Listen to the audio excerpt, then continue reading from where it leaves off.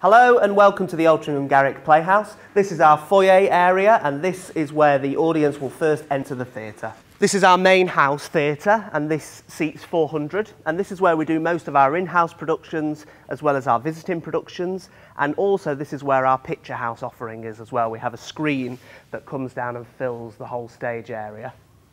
And currently the stage is set for our Easter family production of George's Marvellous Medicine by Roald Dahl. And then coming onto stage, at the moment for this particular production, we've got the steps out and we've got the pit open. And that's because we've got some puppets that come out of the pit.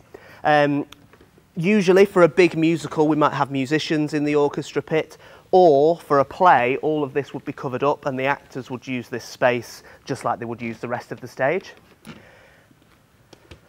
And then coming through here leads us to backstage. This is our prop dock area. So generally this is where most of the props that are used in the show are laid out. There might be a couple of strategic prop tables around the set, but generally this is where they're kept and maintained. And then as we come here, this is behind the set for George's Marvellous Medicine, which is all has to be weighted um, so that the actors are safe on the set and on various different levels.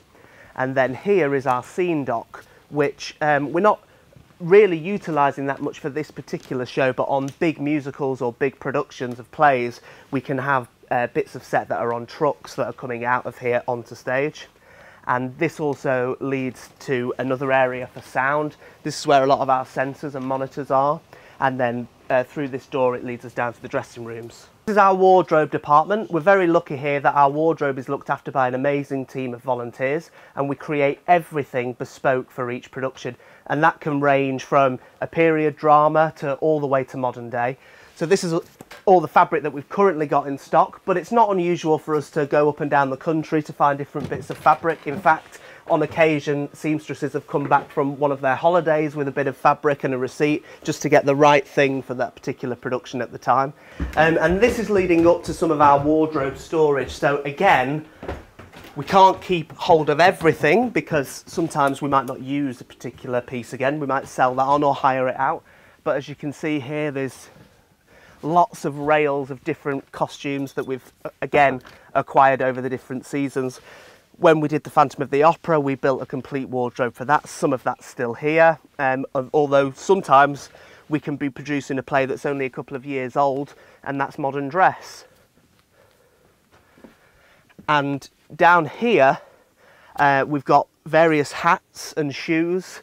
Um, again, sometimes the actors are able to wear their own shoes, and then other times it's a period piece that we have to get the right piece of footwear. And because we have it all here, it means that we can rehearse in that footwear so the actors really get used to how it was to walk in that footwear so that they can do a unique and tailored portrayal of their character. This is our workshop area, so this is where all the sets and some props are constructed and then also painted. So we have a paint area and a construction area as well as a storage area which is further back here. So we're very lucky that over our history we've acquired various bits of sets that we've built. And then we're able to store things that we think would be useful again for other productions. Some things are very unique to a particular production, so sadly we don't have to keep those or we don't get to keep those. But we tend to make everything for our in-house productions. So as you can see here, there's bits of archways that were first used in the Phantom of the Opera, but were then later used in Wolf Hall, uh, next to kind of Gothic windows for churches.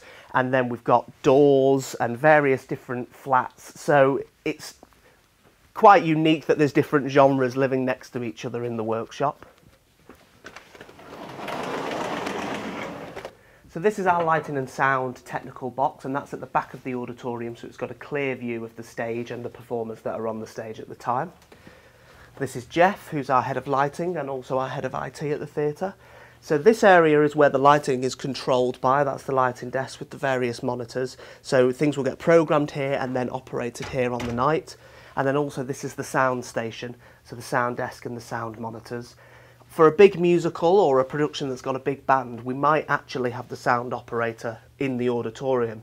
And that's so that they're hearing the true sound, just like the audience are hearing it, and they're able to mix it from there.